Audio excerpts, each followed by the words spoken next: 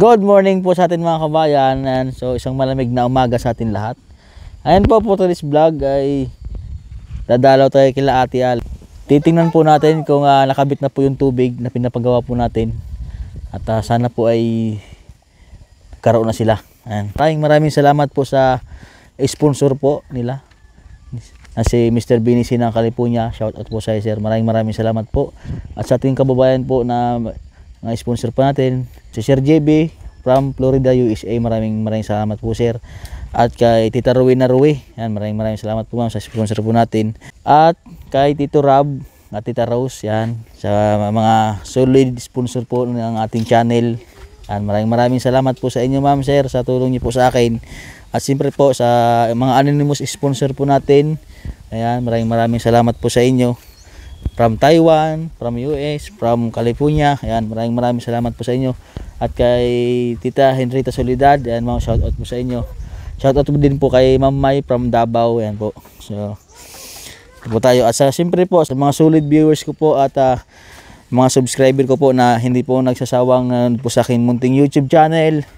Maraming maraming salamat po sa inyo mga kababayan. At sana po tuloy-tuloy po yung ating channel para mas marami tayong matulungan mga kababayan natin. Nandito po tayo sa pamilya po ni Ate Ali. So ito po yung ating ah, isang pamilya po natin natulungan po natin. Ah, soon po at magtatapos po yung bahay po nila RJ. Sana mayroon din pong ah, tumulong sa kanila, mapambili po ng materyales at ah, mapaayos din natin yung bahay po nila mga kabayan. Kahit simple lang po, basta mapaayos po natin yung bahay nila. Kahit hindi po ah, katulad ng mga pinapagawa na din po ng biyahero na nagkakahalaga po ng 300,000, 250,000. So pautay-utay po at uh, paggawa ng Diyos ay tayo po ay maging successful din po na vlogger at maka- makakapagawa din po tayo ng mga ganong pabahay. So ngayon po at uh, uh, dinadasal lang po natin sa Panginoon Diyos na sana po uh, lumawak po yung aking YouTube channel para tuloy-tuloy po tayo sa pagtulong sa ating mga kabayan. Yan. Kakamustahin na po natin yung ah, patubig po natin sa pamilya po ni Ate Ali. So, po mga kabayan, so ito po yung bahay po nila Ate Ali. Ayan, tagpi-tagpi tagpi pong ah, kortina. Tapos dun sa side po ay ah, yero po na sira-sira na po na pinagtagpi-tagpi po nila. Ayan po mga kabayan. So nakita ko po yan sila dito. Sila po yung natulungan natin. Ayan, so yung mga bata ay nakita ko po ditong ano, nagtatanggal po ng buntot ng ampalayang ligaw. Ano yun ngayon? Ha? Gugulayin po ngayong umaga. Ha? Gugulayin po ngayong umaga. Ah, lulutuin niyo yan? Yan ang ulam nyo ngayon kuya. Ha? Gulay po. Gulay. Hmm, sarap yung huli yan po mga kabayan. Oh. Tinatanggalan po nila ng buntot. Ha? Anong luto yan? Gulay? Ha? Palaga po. Ay, palaga. Ah, sino ang magluluto niyan? Si mama po. Hmm, si mama. So, sila po yung mga anak po ni Ate Ali, mga kababayan. Yan po. Hmm. So, sige, saan si mama mo? Nandun po. Ha? Nandun. Meron na kayong tubig? Opo. Ala, may tubig na sila. Ah, masaya ka kuya, masaya? Ikaw ate, may, masaya ka may tubig na kayo?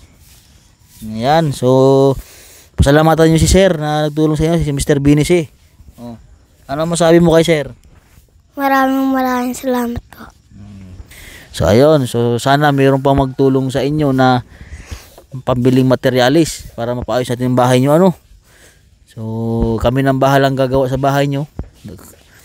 At least makatipid tayo dun sa mga tumulong sa makatipid tayo dun sa labor. Ano? Basta mayroon lang magbigay sa atin ng pangmaterialis sa bahay nyo. No, mapaayos natin kahit kunti, no? Ayan, so pupuntahan ko lang si mama mo. Ayan, ito po yung bahay po nila Ate Ali. Yan po mga kabayan oh. Mm, so dito po ay sa may portahan sa may pinto po nila ay tagpi-tagpi po. Ayan. So ito po yung nabili binilhan muna po natin sila ng solar. Ito. Dito po sila nagsasaing. Ito po yung kanilang saingan, oh. Ayan. Ayan. Ay wow, ito yung tubig nila mga kababayan oh. Mayroon ng tubig. Naglalaban na si Ate Alim. Ali. Kamusta na Ate Ali? Mabuti Ha? naman po at natupad po ang aking pong hinihiling sa tubig po. Yung pangarap niyo po magkatubig ay Natupad na po awa ng Diyos po naman po. So, anong pakiramdam niyo Ate Ali na hindi na kayo pupunta sa ilog para malayong malayo, hindi na kayo mangamba kasi tuwing yun nga, nakwento niya po na bumabaha. So ano po yung Para po sir, eh, kumuha po ang aking pong pakiramdam pong para pong nakahinga po ako ng maalwan-alwan po dahil po sa paglalaba po hindi na po i- isusunungin po sa ulo. Basta lamang po pagkakatapos babalaway, sasampay naman po. hindi na kayo yung pag-iigib ng tubig, hindi Hindi na rin. naman po mahihirapan na po pati ang aking mga anak po sa pag-iigay. At saka yung pagpasok sa school, yung pagligo, ano? Sa pagligo araw-araw po, So, ano, yung, ano po ang masabi nyo sa tumulong sa inyo kay Mr. Binisi ng California? Ako po yung nagpapasalamat po sa sumusuporta po sa aming ha. Ako po yung nagpapasalamat sa tumutulong po sa aming pamilya po. So, ah si Sir po ang tumutulong sa inyo. Sana, ah, dasal po natin na mayroon pang tumulong sa inyo na eh, na- natapos na tayo sa sa isang project na napagawa na kayong tubig. Sana pagdasal natin na mayroon pang tumulong sa inyo pambiling materyales. Mapaayos natin yung bahay nyo kasi po yung bahay po nila mga kabayan, ayan po yung poste po ay sira-sira na po. Tapos nakapatong na lang po sa bato yan. Paano pag halimbawa po ay ah, lumindol? Tapos ay malakas na hangin at ala ano? Nga po, pag nga ganyan po naman po ako po ay talaga pong nakatuupo na lamang po sa loob ng bahay po. Ako po yung nagdadasal po. Sana po ay huwag naman po ang aming bahay madala po ng gayong hangin, ng mga lindol po. Ari nga po sir, noong humangin po pagkakalakas po yung nadala po ang bubong kundi hinaktengan po ng tali. ayan Opo, katanghalian po sir o lilum, lulun po ang bubong sa taas. kaya nga po Buti nga po ang aking pong asawa ay nakauwi po ng araw pong yun. Sana po ang mga bubong ay dala-dala sa ilalim. kasi ano nakapatong na lang sa bato yung mga haligi nyo Mga opo, nakapatong na lamang po yan. Para po kung sa kuwan po hindi po anayin siya. Oo. so sana ay yun nga at ah, paano pag halimbawa ay yung may bagyo hindi lang na makakatulog yun amihan paano pag bagyo ng malakas ano. Eh, awa ng Diyos po naman po eh, hindi po naman kami naalis po talaga po sa aming bahay. Na siguro naman po yung nakikikuha po ang Panginoon po, de marunong din po sa wala. Oo. Talaga po naman po ikuan. Dito lamang po kami, sir. Pag malakas po ang ulan Ate Ali, kasi tagpi-tagpi na lang po yung bahay, nababasa po kayo sa loob. Awa ng Diyos po naman po, paisa-isa naman po ang tulo lang po eh.